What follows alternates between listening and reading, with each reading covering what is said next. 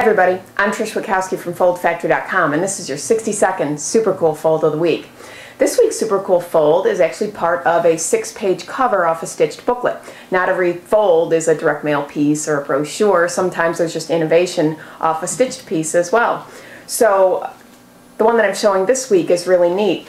It's a six page cover and what they did is they put a square die that's larger on the front cover and a little smaller on the fold-in panel and then they did a heavy ink coverage on the interior here and what it does is it creates a shadow box effect because the one die is bigger and it kind of frames this smaller die that then frames this image to the inside.